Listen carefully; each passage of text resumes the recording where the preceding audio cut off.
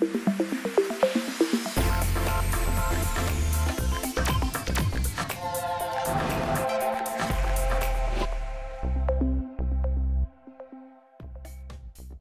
эфире программа iNews в студии Максим Никитин. Самые интересные новости из мира науки и высоких технологий прямо сейчас.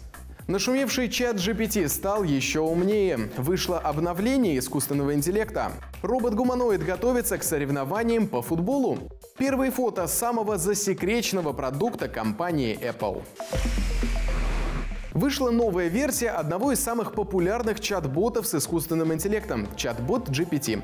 Теперь это работает на базе языковой модели GPT-4, с которой нейросеть стала еще умнее. Разработчики говорят, что теперь искусственный интеллект работает почти на уровне мозга человека.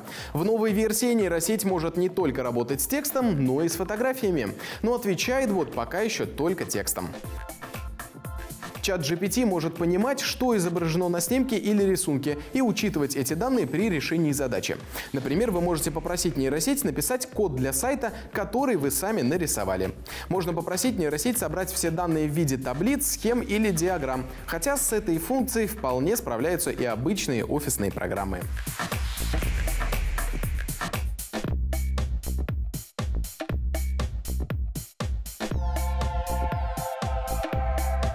Пофиксили и ошибки. По словам создателей, чат GPT теперь меньше врет и дает меньше фактических ошибок.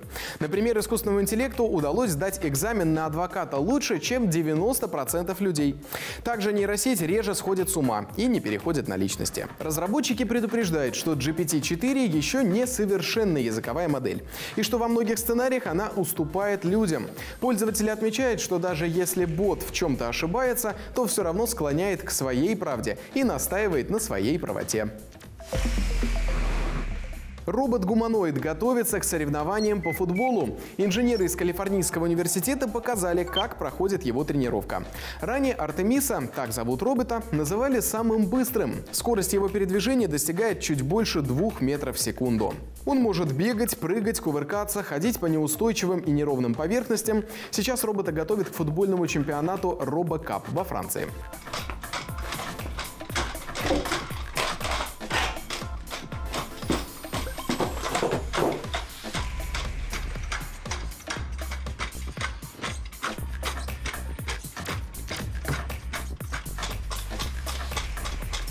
Двигается робот при помощи приводов, которые имитируют поведение человеческих мышц. Они упругие, в отличие от жестких приводов роботов других производителей. А еще они электрические, а не гидравлические, что позволяет двигать конечностями бесшумно. Такие приводы более износостойкие и не оставляют масляных следов, заявляют производители. На ногах аппарата установлены датчики силы, которые помогают машине сохранять равновесие. У гуманоида также есть гироскоп и камеры, которые помогают ему воспринимать окружающее окружающее пространство. Компания Apple готовится выпустить собственные VR-очки. Обсуждения вокруг этой темы ходят уже давно. Инсайдеры уже сливали в сеть некоторые данные о ходе создания новой гарнитуры. Теперь в интернет попали, как утверждается, настоящие фотографии шлейфов, которые разместят в дужках очков. Плоские шлейфы будут использоваться для соединения материнской платы с камерами, аккумулятором и дисплеями. Они будут находиться вокруг глаз пользователя. На второй фотографии изображены три камеры. По всей видимости, две из них будут по бокам, а третья посередине, прямо над носом пользователя. Это будет использоваться для понимания окружающей среды. Эксперты считают, что фотографии настоящие, и эти элементы действительно будут в самом засекреченном продукте компании Apple.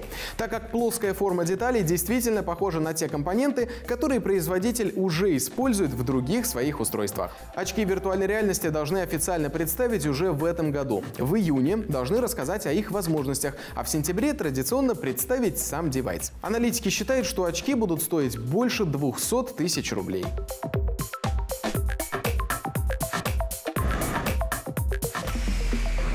Это были все самые интересные новости из мира науки и высоких технологий. Смотрите нас каждый день на телеканале Татарстан-24 и будьте в курсе всех новинок IT-индустрии. С вами был Максим Никитин. До новых встреч!